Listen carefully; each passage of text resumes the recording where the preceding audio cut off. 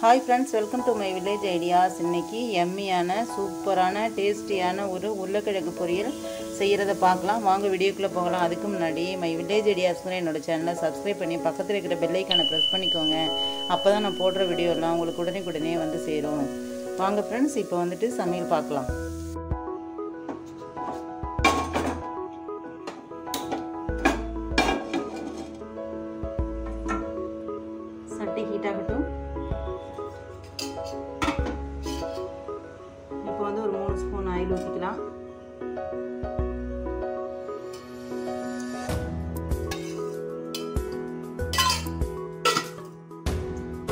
ஜாஸ்தி பண்ணால் நல்லா இருக்குங்கிறதுனால போட்டிருக்கேன்.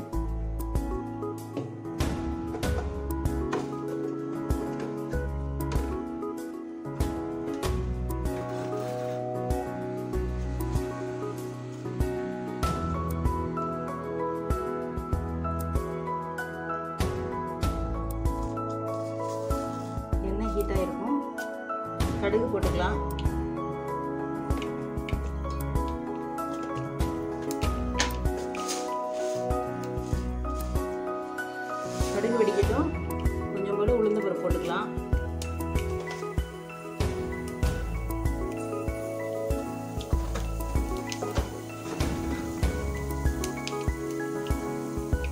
இப்போ கொஞ்சம் போல் சிம்மில் வச்சுக்கலாம் அடுப்பை.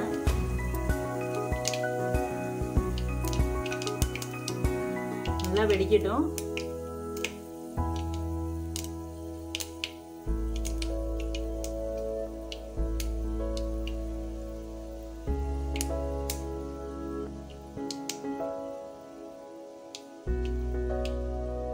இப்போ வந்துட்டு கட் பண்ணி வச்சிருக்க குட்டி குட்டியாக கட் பண்ணி வச்சிருக்கிற வெங்காயத்தை ஆட் பண்ணிக்கலாம். நான் வந்து ஒரு மினிமம் சைஸ் வெள்ளாரியை வந்து கட் பண்ணி எடுத்து வச்சுருக்கேன். மீடியம் சைஸ் வெள்ளாரியை இப்போ வந்து அடுப்பை ஃபுல் ஃப்ளேமில் வச்சுக்கலாம். வெங்காயம் நல்லா வதங்கட்டும்.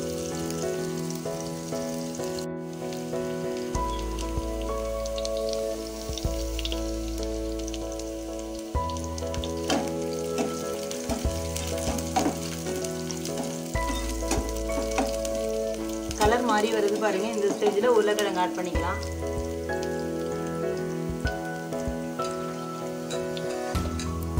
நான் வந்து மீடியம் சைஸ் உருளைக்கிழங்கு மூணு வந்து குட்டி குட்டியாக கட் பண்ணி எடுத்து வச்சுருக்கேன்.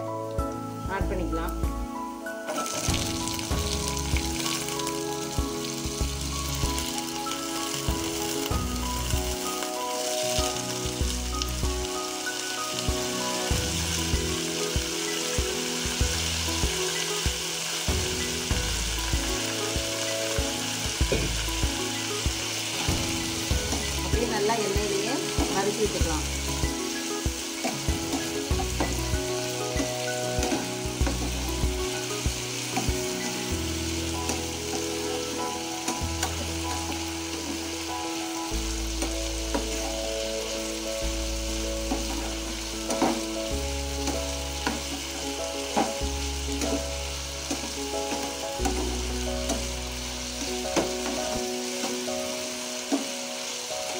வதங்கட்டும் வதக்கிட்டு காமிக்கிறேன்.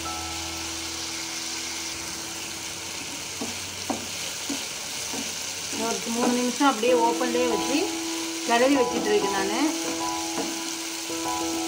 அடுப்பு ஃபுல் ஃப்ளேம்லேயே இருக்கட்டும். இப்போ வந்து மூடி வச்சுக்கலாம்.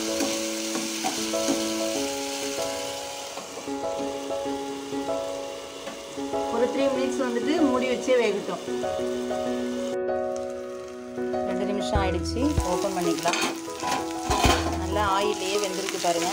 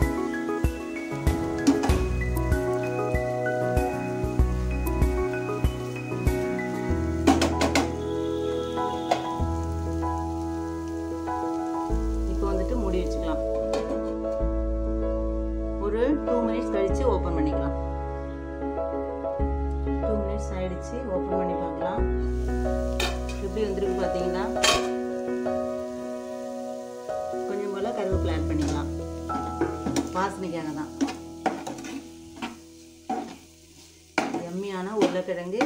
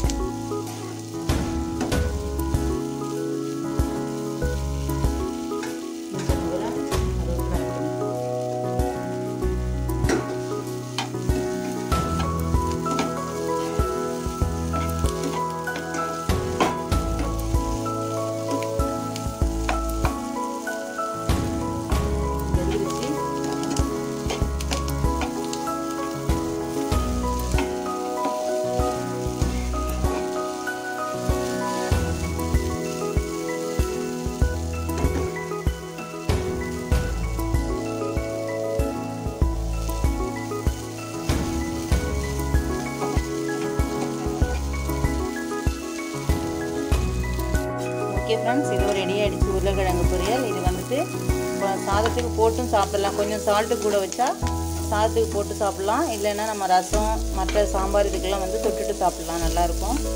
ஓகே ஃப்ரெண்ட்ஸ் நான் சொன்ன மெத்தில் ரொம்ப ரொம்ப சிம்பிளாக சொல்லி கொடுத்துருக்கேன் வெறும் குழம்பு மிளகாத்தூள் சோம்பு தூள் தான் இதோட இது கசகசன்னு ரொம்ப வந்து பொருட்கள்லாம் நான் யூஸ் பண்ண மாட்டேன் எப்பயுமே.